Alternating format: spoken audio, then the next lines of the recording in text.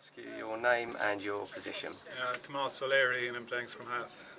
And uh, what nickname do your teammates know you by? Uh, they haven't got to know any nicknames over here yet. I have no nicknames here. I have a few back home, but I'm not going to tell anyone because they don't know them here yet. So I'll leave them figure out for themselves. What age were you when you were first introduced to a rugby ball? I was 13.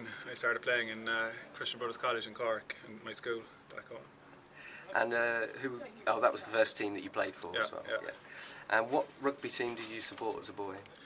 Um, didn't really support any till till I was 15 or 16. Then I started following Munster, and obviously supported Ireland as well. And what was the first game of rugby you watched live? Um, it was, I think it was Munster versus Australia. Back years ago, when I was 14, I didn't know anything really much about rugby, and my dad took me down to it. So I think it was in Cork Con. I was around 13 or 14 anyway. So And who's been the biggest influence on your career? um, I suppose my, my parents, like they, I suppose they wouldn't have much to do with the technical side of rugby, but just in terms of my sporting career, obviously with GAA previously I played a lot of that and rugby. You know, I think they were you know a big influence in my career, and uh, just all the coaches then in terms of rugby, but my parents definitely. What are your parents' names? Uh, my dad is Sean and my mum's Cher. And uh, who's the best player you've played with and against?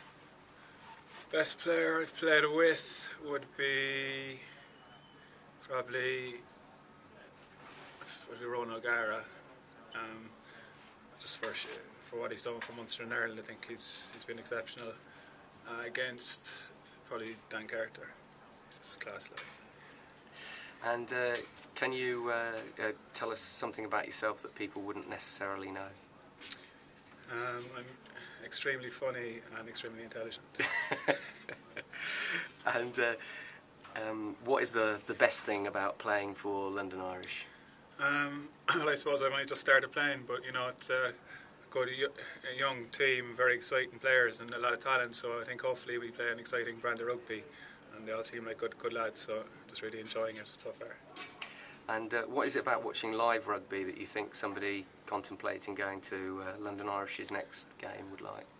I think uh, you you can pick up a lot more than you do on TV. You know, in terms of uh, you know the whole structure of the defence and attack. You know, obviously, especially if you watch the game from behind the goals, you'll, you'll see where where the space is and how quickly that space kind of disappears. So, uh, well, it might look like there's 10 yards of space for a side to attack, but then, you know, you two seconds later there's no space. So, you know, it's interesting when you watch a game live that, you know, you see where there apparently is space and how quickly that disappears. So, I suppose you get a greater appreciation of, you know, how difficult it is to, re- to play the game, I suppose. Brilliant.